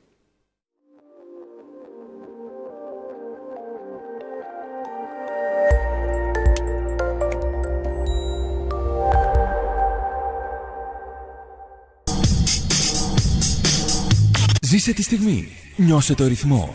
Star FM 93,5. Ακού δυνατά όλες τις επιτυχίες στο Δελτίο Ειδήσεων και πάλι. Στην Καβάλα έως και το Σάββατο, 11 Νοεμβρίου, θα διεξάγεται το 44ο ετήσιο Πανελλήνιο Συνέδριο Φιλολόγων σε συνεργασία της Πανελλήνιας Ένωσης Φιλολόγων, τους Συνδέσμου Φιλολόγων Καβάλας, της Περιφερειακής Ενότητας Καβάλας, ενότητα λέει υπό την αιγίδα του Δήμου Καβάλας. Οι εργασίες του συνεδρίου λαμβάνουν χώρα στο Αφιθέατρο του Διοικητηρίου Γιώργος Παυλίδης. 44ο Πανελλήνιο Συνέδριο Φιλολόγων στο Αμφιθέατρο Διοικητηρίου Καβάλας, αφιερωμένο στον πατέρα της ιστορίας, τον Ηρόδοτο. Θέλω να σας πω λοιπόν ότι η διοργάνωση του 44ου Πανελληνίου Συνεδρίου της Πανελλήνιας Ένωσης των Φιλολόγων που έχουμε την τιμή και τη χαρά να φιλοξενούμε στην Καβάλα έτυχε της αμέριστης υποδοχής και από εμάς από τη διοίκηση αλλά και βέβαια ε, κατέθεσαν την ψυχή τους ο Σύλλογος των Φιλολόγων με την πρόεδρο την κυρία Γερήπαμπα και βεβαίως με τους υπολείπους ε, ε, τα υπόλοιπα μέλη του Διοικητικού Συμβουλίου. Η προσέλευση είναι εξαιρετικά ε, ικανοποιητική. Έχουν έρθει από όλη την Ελλάδα, από την Κύπρο, άνθρωποι οι οποίοι διακονούν την γλώσσα, τον πολιτισμό, την ιστορία και είναι για μας κάτι το οποίο είναι μια παρακαταθήκη για να μπορέσουμε να το χρησιμοποιήσουμε και οι φιλόλογοι και εμείς οι μη φιλόλογοι ούτως ώστε να, δείξουμε και το, να αναδείξουμε το μεγαλείο της ε, ε, ελληνικής ιστορίας και της ελληνικής ε, παιδείας. Φέτος το συνέδριο είναι αφιερωμένο στον Ηρόδοτο. Είναι ο πατέρας της ιστορίας. Οι εισηγήσεις που έχω παρακολουθήσει μέχρι τώρα είναι εξαιρετικά σημαντικές και νομίζω ότι το συμπέρασμα που θα καταλήξουμε το Σάββατο θα είναι ε, κάτι το οποίο θα μπορέσουν να το πάρουν οι φιλόλογοι ώστε να μπορέσουν να, να διδαχτούν από αυτό και να το διδάξουν με τη σειρά τους στα παιδιά μας. Μια πραγματικά ενδιαφέρουσα ημερίδα διοργάνωσε η Ένωση Ιατρών ΕΣΥ του Γενικού Νοσοκομείου Δράμας σε συνεργασία με το Δικηγορικό και τον Ιατρικό Σύλλογο Δράμας και το Εργαστήριο Μελέτης Ιατρικού Δικαίου και Βιοειθικής της Νομικής Σχολής του Αριστοτελείου Πανεπιστημίου Θεσσαλονίκης. Κεντρικό θέμα της ημερίδας, Ιατρικό Δίκαιο. Η εκδήλωση να πούμε ότι έγινε χθες στην αίθουσα πολλαπλών χρήσεων του Δήμου Δράμας. Πράγματι, ε, το σημερινό ζήτημα που διαπραγματεύεται η μερίδα μας, που είναι πρέπει να πω συνδιοργάνωση του Δικηγορικού Συλλόγου της Δράμας, του Ιατρικού Συλλόγου και του Εργαστηρίου Ιατρικού Δικαίου και Βιοειθικής του Πανεπιστημίου Θεσσαλονίκης, ε, αφορά το ζήτημα του, της ε, διαχείρισης του ιατρικού λάθους από άποψη ποινική, διοικητική και αστική. Όπως και γενικότερα ζητήματα που αφορούν την άσκηση της, του ιατρικού λειτουργήματος. Είναι ένα ζήτημα κρίσιμο που αφορά και τους δύο επιστημονικούς κλάδους. Ε, νομίζω ότι είναι η πρώτη φορά που τουλάχιστον στην ευρύτερη περιοχή της ε, ε, περιφέρειάς μας διοργανώνεται κάτι τέτοιο και ευελπιστώ ότι εγκαθιδρύει μια συνεργασία των δύο μεγάλων επιστημονικών φορέων τόσο προς όφελος των μελών τους, αλλά κυρίως προς όφελος των δραμηνών, γιατί τέτοια ζητήματα αντιμετωπίστηκαν στο παρελθόν, θα αντιμετωπιστούν στο μέλλον και χρειάζονται οπωσδήποτε την επιστημονική προσέγγιση και των δύο πλευρών. Κάναμε έναν ορισμό. Τι είναι ιατρικό δίκαιο, κύριε Πρόεδρε; Είναι, ε, περιγράφουμε την διαδικασία εκείνη που αφορά την ευθύνη και την, τις ευθύνες γενικά που αναλαμβάνουν οι λειτουργοί της ιατρικής επιστήμης κατά την άσκηση του επαγγέλματός τους τόσο από ποινικής όσο και από αστικής κυρίως πλευράς. Κύριε Πρόεδρε, ε, σημαντική ημερίδα, ένα ενδιαφέρον θέμα πρέπει να πω, που αφορά και την κοινωνία και εσάς σαν κλάδο. Δυστυχώς στις μέρες που ζούμε καταλαβαίνετε ότι ο ιατρικός κλάδος θα δεχθεί πολύ μεγάλη πίεση και πρέπει όντως τα μέλη μας να ενημερωθούν πάνω σε αυτό το θέμα που αφορά το ιατρικό δίκαιο γιατί μην ξεχνάτε όσο και αν ο γιατρός αυτοθυσιάζεται προς όφελος των ασθενών του να μην βρεθεί στο τέλος και κρεμασμένος. Πρέπει να λέμε τις κουβέντες από πάνω μέχρι κάτω. Δεν θα επαναλάβω τα όσα είπε ο αγαπητός συνάδελφος. Θα πω όμως από τη δική μου πλευρά να εκφαριστήσω τους επιστήμονες και των δύο συλλόγων που παρίστανται, διότι αυτή σημαίνει ότι τιμούν και τον ιατρικό και τον δικηγορικό σύλλογο, αλλά πρωτίστως και τους ομιλητές και το δραμινό λαό. Οπωσδήποτε είναι εξαιρετική μερίδα. Καταρχήν θέλω να συγχαρώ θερμά συγχαρητήρια στον Ιατρικό Σύλλογο Δράμας και στον Δικηγόρο Σύλλογο Δράμας για αυτή την ημερίδα, αυτά τα οποία θα ακούσουμε μέσα. Και ειλικρινά θέλω να σταθώ λίγο στον Ιατρικό Σύλλογο και στους γιατρούς, και ειδικά τους γιατρούς της δημόσιας υγείας. Που ειλικρινά θέλω να τους συγχαρώ για μια ακόμη φορά δημόσια, μετά ένα πρόβλημα υγείας που είχα και ειλικρινά και το ξαναλέω και θα το πω κατά επανάληψη. Η λέξη φιλότιμο στο ελληνικό λεξιλόγο που δεν έχει λέξη πρέπει να λέγεται ελληνική δημόσια υγεία τίποτα άλλο. Θερμά συγχαρητήρια στους διοργανωτές. Θα ακούσουμε σημαντικά πράγματα μέσα και θα καταλάβουμε ότι είναι η κινητήριος δύναμη της κοινωνίας μας, ο ιατρικός και ο δικηγορικός σύλλογος. Το ιατρικό δίκαιο είναι ένας κλάδος που έχει αναπτυχθεί τελευταία όχι μόνο στην Ελλάδα αλλά και σε παγκόσμιο επίπεδο και μελετάει ε, την ευθύνη που μπορεί να δημιουργηθεί για έναν γιατρό όταν διενεργεί ιατρικές πράξεις. Η ευθύνη αυτή μπορεί να είναι αστική, δηλαδή η ευθύνη που γεννά δικαίωμα αποζημίωσης των συγγενών ενός ασθενούς ή στον ίδιο τον ασθενή αν έχει πάθει μία ε, ζημία, όπως επίσης και την ποινική ευθύνη του τυχόν γιατρού αν προκαλέσει θάνατο ή σωματική βλάβη. Γνωρίζουν οι γιατροί ε, τα δικαιώματα αλλά και τις υποχρεώσεις που έχουν, τα προβλήματα που προκύπτουν από την εφαρμογή του ιατρικού δικαίου; Νομίζω ότι τα προβλήματα τα γνωρίζουν γιατί τα αντιμετωπίζουν καθημερινά στην πράξη. Ωστόσο, ε, νομίζω ότι πρέπει να ενημερωθούν λίγο παραπάνω ως προς τις νομικές πτυχές ε, του ζητήματος και αυτό θέλουμε να κάνουμε εμείς εδώ πέρα, δηλαδή να τους δώσουμε μια ιδέα των ευθυνών που έχουν, των υποχρεώσεων που έχουν και ενδεχομένως ε, των πραγμάτων που θα αντιμετωπίσουν αν εμπλακούν σε μια πολιτική ποινική δίκη. Πρέπει να πούμε τα τελευταία χρόνια είναι πάρα πολύ συχνή η ενασχόληση των ποινικών δικαστηρίων με τέτοια θέματα ε, ποινικής ευθύνης των γιατρών. Ε, αυτό συνδέεται βέβαια, όπως καταλαβαίνετε, σε πολύ μεγάλο βαθμό με την εξέλιξη που υπάρχει στον, στην ιατρική τεχνολογία. Δηλαδή πράξεις οι οποίες πριν από μερικά χρόνια δεν ήταν καν νοητές, σήμερα ε, είναι πραγματοποιήσιμες με αποτέλεσμα όμως να αυξάνονται και οι πιθανότητες να βρεθεί ο γιατρός χρεωμένος με μία ε, ποινική ευθύνη. Δεν είναι όμως μόνος αυτός ο λόγος. Στην πραγματικότητα υπάρχουν και πολλοί άλλοι.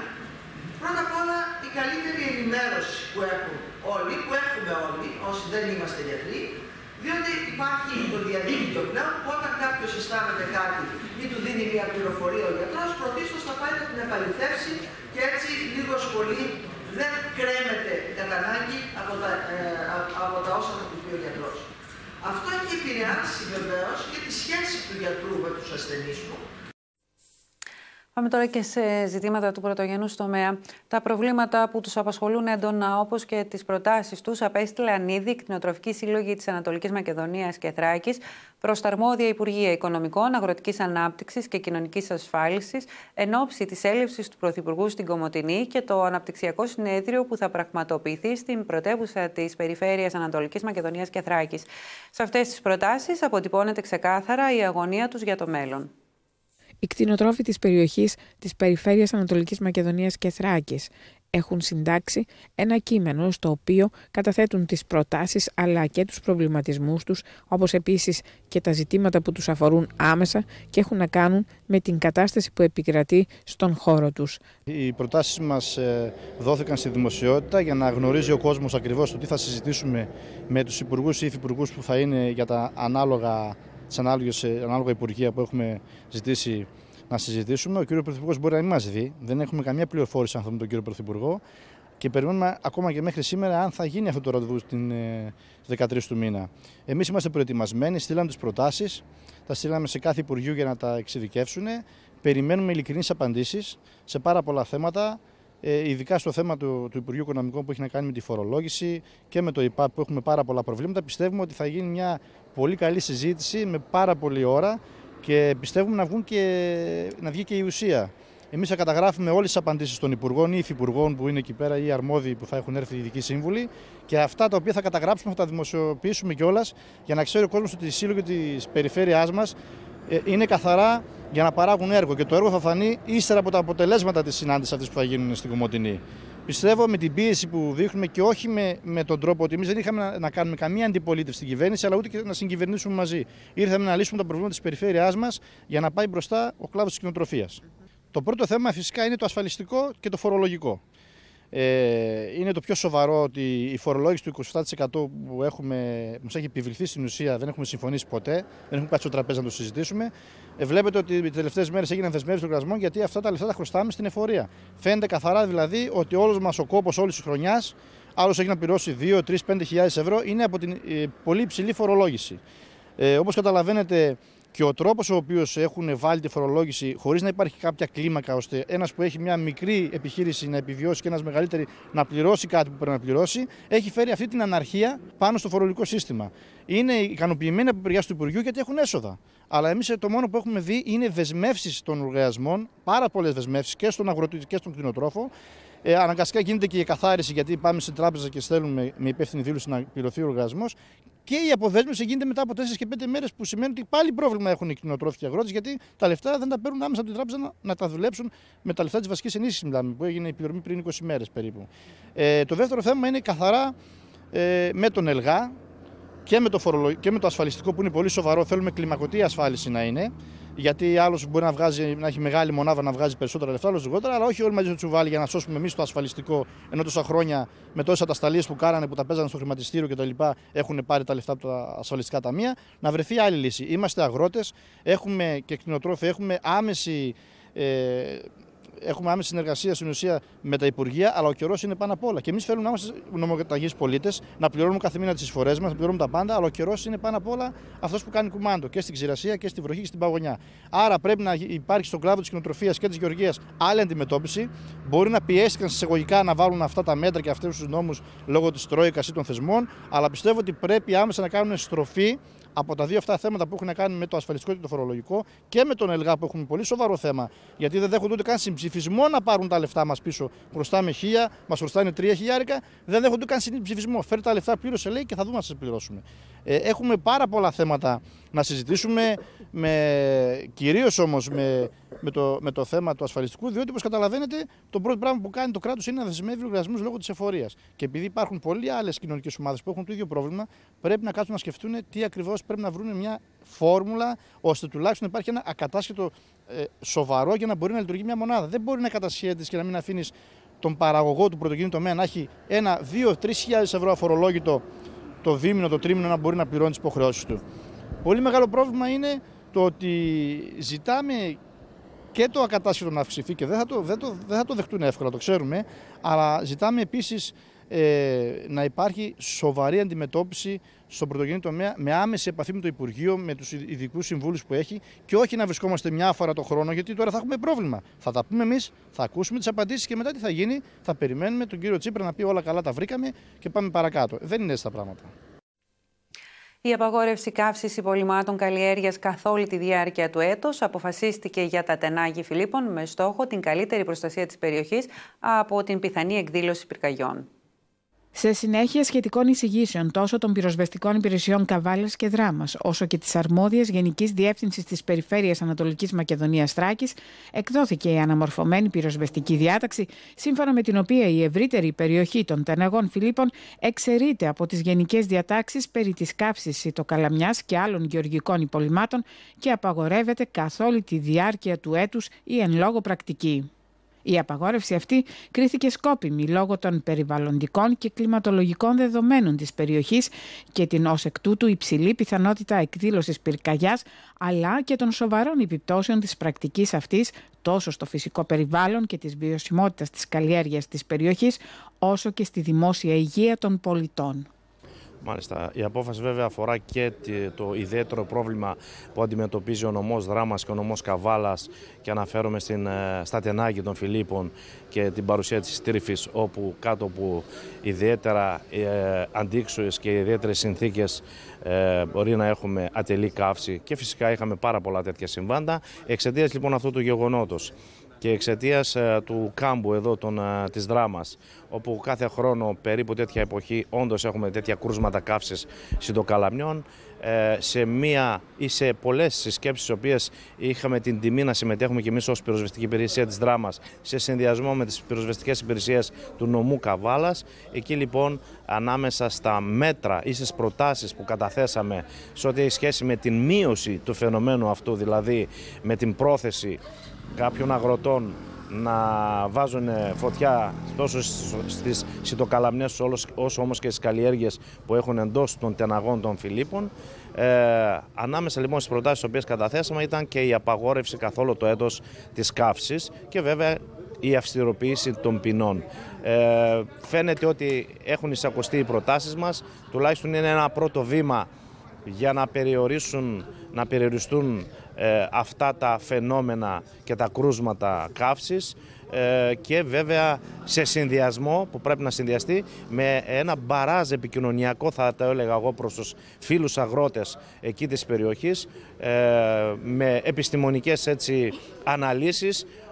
Για ποιο λόγο δεν πρέπει να γίνεται καύση των σιτοκαλαμιών από επιστημονικής άποψης λόγω του ότι καταστρέφονται οι οργανικές ουσίες και όλα αυτά τα οποία ε, μπορούν άνετα να αναλύσουν σε υπομνήματά τους αλλά και ε, σε συναντήσεις τους υγειοπόνη και φυσικά από τη δική μας την πλευρά αποφεύγεται και η μόλις του περιβάλλοντος ε, και βέβαια η άσκοπη ταλαιπωρία θα λέγαμε ενός φορέα ο οποίος θα μπορούσε να προσφέρει σε πολύ πιο ουσιαστικό τομέα.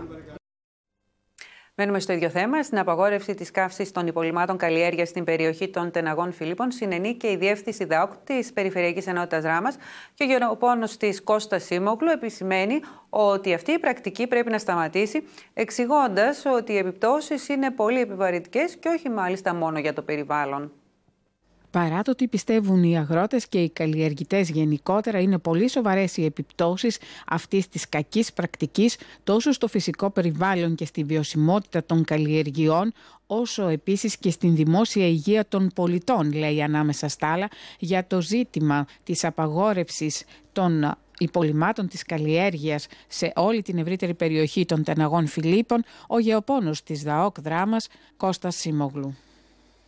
Ναι, είναι ένα θέμα ε, για το οποίο ε, και εμείς ως υπηρεσία, ως ΔΑΟΚ Δράμας είχαμε κάνει, ε, συμβάλαμε, εν πάση περιπτώσει, με δράσεις ενημερωτικές περισσότερο, ε, ιδιαίτερα στα πλαίσια της πρωτοβουλίας που είχε πάρει το ΓΙΟΤΕ Ανατολικής Μακεδονίας για την ενημέρωση του κόσμου όσον αφορά σε αυτή την ε, όχι ορθή πρακτική ε, που γίνεται από μερίδα καλλιεργητών.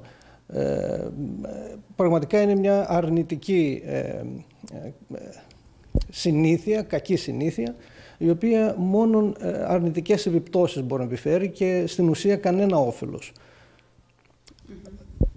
Είναι όμως μια συνήθεια που κρατάει πάρα πολλά χρόνια και θα έλεγε κανείς ότι είναι παράδοση μεταξύ των γεωργών ή των γεωργικών εκμεταλλεύσεων, κάτι σαν και αυτό.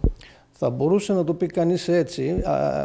Στην πραγματικότητα όμως, αν το εξετάσει κανείς με επιστημονικά κριτήρια, δεν επιφέρει κανένα θετικό αποτέλεσμα. Το αντίθετο, όπως είπα και πριν, με πολλές αρνητικές επιδράσεις τόσο στο ίδιο το έδαφος, όσο βέβαια και στη δημόσια υγεία. Και να μην το ξεχνάμε αυτό, υπάρχουν ομάδες του πληθυσμού ε, ευπαθείς ε, οι οποίες ε, υφίστανται όλη αυτή την επίδραση του καπνού κλπ. κλπ. Και βέβαια σε καμία περίπτωση δεν επιφέρει θετικό αποτέλεσμα στη φυτοπροστασία και αυτό ίσως θα πρέπει να το τονίσουμε. Λέχθηκε τουλάχιστον φέτος ότι επειδή εμφανίστηκε ένα έντομο στην καλλιέργεια του αραβοσίτου, το διαβρώτικα και είχαμε εκτεταμένες καταστροφές, ότι αυτός είναι ένας τρόπος εξάλληψης του εντόμου. Ισχύει κάτι τέτοιο ή και αυτό είναι ένας μύθος; Ναι, το διαβρώτικα βεργιφέρα ή το διαβρώτικα όπως είναι ευρύτερα γνωστό, ε, ε, πολύ σοβαρός εχθρός του αραβοσίτου, ε, φέτος ειδικά, στην περιοχή των τεναγών της ε, Δράμας και της Καβάλας ε, είχε ιδιαίτερη έξαρση. Κάτι το οποίο βέβαια το περιμέναμε εδώ και χρόνια. Ε, το ζήτημα είναι ότι η αντιμετώπιση του δεν μπορεί να γίνει σε καμία περίπτωση με την καύση. Αυτό καταρρύπτεται και είναι ξεκάθαρο. Τα αυγά του εντόμου βρίσκονται σε μεγάλο βάθος μέσα στο έδαφος, ενώ από την καύση η άνοδος της θερμοκρασίας είναι μόνο ελάχιστη στα λίγα πρώτα εκατοστά του, του εδάφους. Επομένως δεν έχει καμία σχέση και αυτό είναι ξεκαθαρισμένο. Ε, το ζήτημα με το συγκεκριμένο έδαφος, ε, με το συγκεκριμένο έντομο ε, και την αντιμετώπιση του είναι περισσότερο σε επίπεδο άμυψης σποράς, αλλαγής δηλαδή, παρά οτιδήποτε άλλο. Να αλλάξουμε θέμα. Ο πρόεδρος της ΔΕΚΠΟΤΑ του Δήμου Δράμας, κ. Γιώργος Ψαρά, σε συνεργασία με το Κέντρο Ζωγραφικής Γιάννη Νίκου, προσκαλούν όλους στα εγγένεια της έκθεσης ζωγραφικής Κόσμη Τέχνης Επάλη του Γιάννη Νίκου το Σάββατο 11 Νοεμβρίου και ώρα 7.30 το απόγευμα στο Πολιστικό Κέντρο Ελευθερία. Τα εγγένεια της έκθεσης ζωγραφικής Κόσμη Τέχνης Επάλληλη του Γιάννη Νίκου πραγματοποιούνται αύριο στις 7.30 το βράδυ στο Πολιτιστικό Κέντρο Ελευθερία. Την όλη διοργάνωση της έκθεσης στηρίζει η ΔΕΚΠΟΤΑ, η οποία σε συνεργασία με το Κέντρο Ζωγραφικής Γιάννη Νίκου διοργανώνει αυτήν την έκθεση. Θα ήθελα να σας ανακοινώσω πως με ιδιαίτερη χαρά και τιμή το Σάββατο στις 11 Νοεμβρίου και ώρα 7 θα πραγματοποιηθούν τα εγγένεια της νέας έκθεσης του καταξιωμένου ζωγράφου Γιάννη Νίκου στον πολιτιστικό χώρο Ελευθερία. Η έκθεση με τίτλο Κόσμη Τέχνης Επάλληλη οργανώνεται από τη ΔΕΚΠΟΤΑ για να τιμήσει τη σύσταση και τη λειτουργία του Κέντρου Ζωγραφικής Γιάννη Νίκου που έχει ως έδρα τη δράμα. Θα παρουσιαστούν έργα από διαφορετικούς θεματικούς κύκλους του καλλιτέχνη, ο οποίος χαρακτηρίζεται για την ευρεία θεματολογία του. Θα ήθελα να τον ευχαριστήσω διότι για τη ΔΕΚΠΟΤΑ και για το Δήμο Δράμας γενικότερα η συνεργασία μας με καταξιωμένους καλλιτέχνες όπως είναι ο Γιάννης Νίκου είναι αναγκαία. Και να τονίσω πως η διάρκεια της έκθεσης είναι από 11 έως 30 Νοεμβρίου, 11 με 2 και 6 με 9.30 εκτός Τρίτης.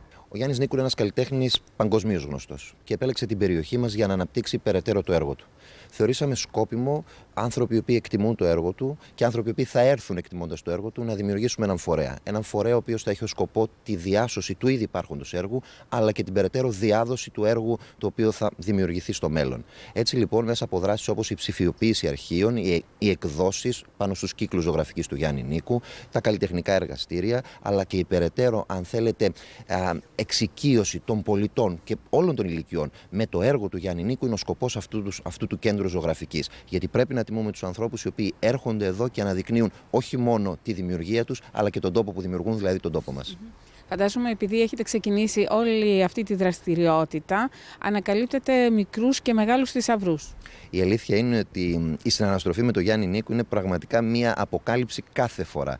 Μπορείτε να, μέσα από χρώματα, μέσα από εκφράσεις, μέσα από στιγμιότυπα, αποτυπώνει κομμάτια της ελληνικής μυθολογίας, της ψυχής μας, της σκέψης μας. Και αυτό πρέπει όλοι να το καρποθούμε. Αυτό πρέπει όλοι να το ενστερνιστούμε. Αυτός είναι ο βασικός σκοπός του Κέντρου Ζωγραφικής Γιάννη Νίκου. Να ευχαριστήσουμε τη Δεκποτά, η οποία ε, ουσιαστικά μας συνδράμει και συνδιοργανώνει την πρώτη εκδήλωση σωματείου μας, την έκθεση ζωγραφικής αύριο. Όλοι οι δραμηνοί, όλες οι δραμηνέ και όλοι οι δραμηνοί θα πρέπει να έρθουν να το δουν, θα πρέπει να, να, να έρθουν κοντά σε αυτό το έργο και νομίζω ότι είναι πολύ σημαντικό να συνεχίσουμε ενωμένοι και ακόμα πιο μαζικά. Είναι, καταρχήν είναι μεγάλη χαρά που βρίσκομαι πάλι σε αυτό το, το χώρο, τους φίλους που μπορώ να εκθέσω και να δείξω την τελευταία δουλειά. Ε, δημιουργήθηκε αυτός ο φορέας, πράγματι ήταν μια ανάγκη διότι ε, τα πράγματα κυλάνε, τρέχουν είναι ρευστά και πρέπει κάπου να τα συγκρατούμε για να μην, να μην τα χάνουμε. Η ζωγραφική είναι κάτι το ατελείωτο. Δεν ζωγραφίζεις γιατί το αισθάνεσαι, γιατί σου έρχεται, γιατί πρέπει να πεις ή πρέπει να εκφράσεις και να δώσεις και στους άλλους το έναυσμα να αισθανθούν, να σκεφτούν, να προβληματιστούν και να βρουν τι τους πάει. Όλοι θα βρουν κάτι που θα τους αρέσει, δεν αμφιβάλλω γι' αυτό. Γιατί η δουλειά είναι πολυπίκυλη, υπάρχουν αρκετές ενότητες παρουσιάζω. Τις δουλεύω συγχρόνως, δεν είναι ε, εποχές εποχές, δεν είμαι ούτε στη ρόζη ούτε στη γαλάζια περίοδο. Συγχρόνως μπορεί να έχω ένα έργο στο καβαλέτο του θρησκευτικού κύκλου και δίπλα να ξεκουράζομαι ζωγραφίζοντας κάτι από το ρομαντικό κύκλο, να με ξεκουράζει. Ε, έτσι βγαίνουν και έτσι έχει καταχωρηθεί το έργο σε ενότητες. Λοιπόν, σε αυτήν την έκθεση τι θα δουν οι δραμηνοί και οι δραμηνές; Ε, θα δουν και από την ελληνική μυθολογία και από τον κόσμο των αγγέλων και από το ρομαντικό κύκλο αλλά και από τα abstract, από τα πολύ μοντέρνα έργα που κάνω. Γιατί και αυτά είναι με την ώρα τους γίνονται. Έρχεται η ώρα που θέλω να πω κάτι άλλο τελείως διαφορετικό από αυτό που έχω πει μέχρι τώρα. Και αυτό συμβαίνει και θα το δείτε σε αυτή την έκθεση. Άρα λοιπόν παλιά και καινούρια έργα και φαντάζομαι ότι μέσα σε αυτόν τον κύκλο που θα μπορούσε να περιέχει πολλά ακόμα δεν είναι δυνατόν λόγω και χώρου να μην υπάρχουν. Ακριβώς. Ο χώρος ε, δυστυχώς για τη δράμα δεν έχει έναν χώρο ε, μεγάλων απαιτήσεων. Μια γκαλερί σύγχρονη. μεγάλη, ένα, ένα μουσιακό χώρο που να μπορούν να μπουν και έργα και δύο και τριών και τεσσάρων μέτρων. Γιατί η δουλειά μου περισσότερο εκεί εκφράζεται, σε έργα μεγάλων διαστάσεων, τα οποία τα κάνω με ένα ιδιαίτερο κέφι. Είναι η αλήθεια ότι μου αρέσει αυτό το είδος της ζωγραφικής, η, η θεαματική ζωγραφική. Ταξιδεύω, την ώρα που ζωγραφίζω είμαι εκεί. Βρίσκομαι μέσα στο ίδιο το έργο, βλέπω πώς είναι τα πράγματα και τα ζωγραφίζω. Λοιπόν, ε, δεν μένει παρά να έρθετε αύριο, να βρεθούμε από κοντά και να τα ξανασυζητήσουμε αν σας προβληματίζει κάτι. Εγώ εκεί θα είμαι. Ωραία. Ε, να σας κάνω ένα ερώτημα. Και μεγάλο ευχαριστώ στον πρόεδρο της ΔΕΚΠΟΤΑ, τον Γιώργο Τοψαρά, που είχε το όραμα να ξεκινήσουμε και να κάνουμε ξανά μια τέτοια επιχείρηση. Ισα, εισαγωγικά επιχείρηση. Ναι, καταλάβαμε. Λόγω, τολμήσατε λόγω κάτι. εποχών είναι επιχείρηση πια και το να ζωγραφίζεις και να εκθέτεις και να σε βοηθάνε να εκθέσεις. Σκεφτείτε τι υλικά έχει το κάθε έργο που γίνεται. Τι κόστος έχει. Και αυτά γίνονται επειδή μου αρέσει να το κάνω. Ένα τελευταίο ερώτημα. Τέργεζε πιο καλά νωρίτερα, αλλά δεν πειράζει, θα το κάνω, γιατί εσείς το είπατε. Ποια είναι η σχέση σας με το χρόνο; Τι εννοείτε με το χρόνο; Είπατε ότι την ώρα που ζωγραφίζετε, εσείς είσαστε εκεί, βλέπετε τα πράγματα και τα αποτυπώνετε με το χρωστήρα. Ναι, μεταφέρομαι. Ε, νοερά, μέσα στη φαντασία μου βρίσκομαι μέσα στο χώρο αυτό και σαν να τα βλέπω να μου ποζάρουν τα πρόσωπα ή τα πράγματα και τα ζωγραφίζω. Είναι, κάνω ένα ταξίδι είναι, και ο χώρος που έχω κάνει επάνω είναι πολύ ιδιαίτερος. Δηλαδή η παρέα μου είναι απ' έξω σκίουροι, πουλιά, ησυχία. Αν ακούσεις κάποιο θόρυβο αμέσως αναρωτιέσαι τι έγινε, ποιος είναι, τι συμβαίνει. Είναι τέτοια το περιβάλλον, το φυσικό περιβάλλον εμπνέει. Δεν είναι το, η πόλη με τον θόρυβο, με την χορύπανση. Η, η, η χορύπανση της φύσης είναι πολύ όμορφη. Εκεί βρίσκομαι και εκεί δουλεύω. Μένουμε σε πολιτιστικά θέματα. Με ένα νέο θεατρικό έργο που κάνει πρεμιέρα σήμερα, η θεατρική ομάδα του Συλλόγου των Εκπαιδευτικών Πρωτοβάθμιας Εκπαίδευσης συνεχίζει την παρουσία της στα θεατρικά δρόμενα του νομού Δράμας. Χθες είχαμε την τελική πρόβα και μας μίλησε η σκηνοθέτης εκπαιδευτικός Σαββατούλα Παπαδοπούλου. Πρόβα Τζενεράλε, το ασπρόμαυρο ταξίδι ξεκινάει. Ε, σας θέλουμε όλους κοντά μας. Είναι ένα φαντασμαγορικό και φαντασιακό ταξίδι πέρα από την καθημερινότητα, τα στερεότυπά της, τις ιδεολειψίες της. Ε, ανοίγει δρόμους ώστε να εμπλουτίσουμε τη ζωή μας. Τι παράσταση είναι; Να της δώσουμε χρώμα. Λίγα λόγια για την παράσταση. Ε, είναι μια παράσταση για, για παιδιά από 2 μέχρι 102. Ε, ο, η θεατρική μας ομάδα συνηθίζει να κάνει παραστάσεις. Ε, αυτό που οι Άγγλοι λένε family theater είναι ένα θέατρο για όλη την οικογένεια και να μπορούν δηλαδή ευχάριστα να την παρακολουθούν τα παιδιά και οι μεγάλοι και ο καθένας ανάλογα με τις προσλαμβάνουσες που έχει, τις ηλικιακές των εμπειριών, ε, κερδίζει και τη βλέπει με διαφορετικό μάτι. Πόσοι ηθοποιοί της παράστασης; Παίζουν 20. Η ομάδα γενικότερα έχει γύρω στα 30 άτομα, δεν παίζουν όλοι φέτος. Παίζουν 20. Οι άλλοι συντελεστές, ε, εγώ στα κείμενα στη σκηνοθεσία, ε, ο Στράτος, ο Κυριαζίδης στη μουσική έχει γράψει καταπληκτική μουσική, τραγούδια φοβερά. Είναι ένα μουσικό παραμύθι ε, και ελπίζω να αρέσει. Όλοι έχουμε αυτή την αγωνία, πώς θα συντονιστούμε, να βγάλουμε το καλύτερο αποτέλεσμα. Όλα είναι έτοιμα και η τελική πρόβα θα δείξει το αίσθημα που θα βγάλουμε στον κόσμο. Πότε θα δοθούν οι παραστάσεις, ποιες μέρες; Ε, αύριο πρεμιέρα. Ε, η πρεμιέρα είναι ανοιχτή στο κοινό αντί του εισιτηρίου να, φέρουν, να φέρει ο κόσμος ε, προϊόντα ήδη για το κοινωνικό παντοπολείο. Ε, Σάββατο, Κυριακή και για τα δύο επόμενα Σαββατοκύριακα η τιμή του εισιτηρίου είναι 3 ευρώ για τα παιδάκια και 5 ευρώ για τους μεγάλους. Σας περιμένουμε.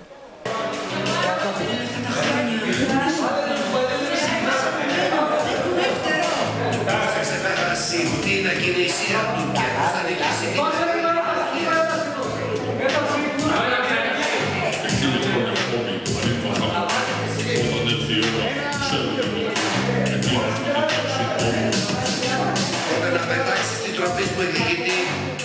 να τους φέρεις τούτη τη στιγμή. Πέταξε και ψάξε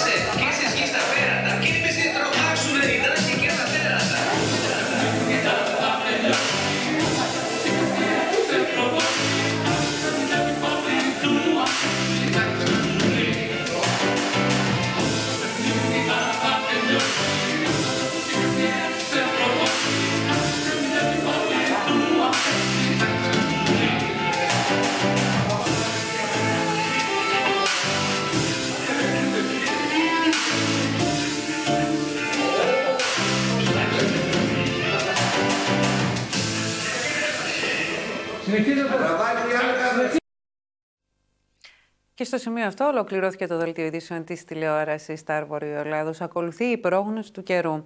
Από όλους εμάς, πολλές ευχές για μια όμορφη συνέχεια. Να είστε καλά και καλό Σαββατοκύριακο.